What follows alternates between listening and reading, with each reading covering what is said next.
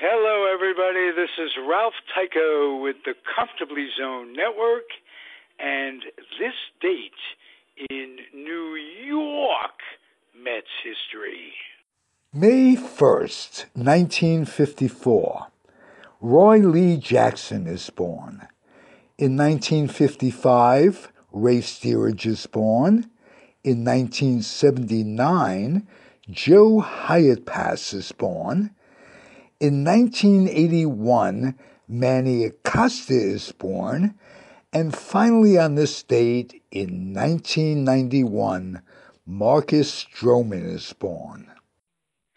The proceeding has been a comfortably zoned network production.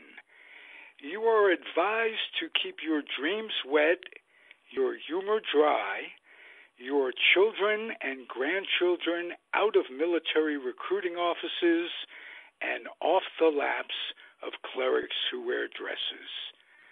Thank you for listening, everyone. Happy trails.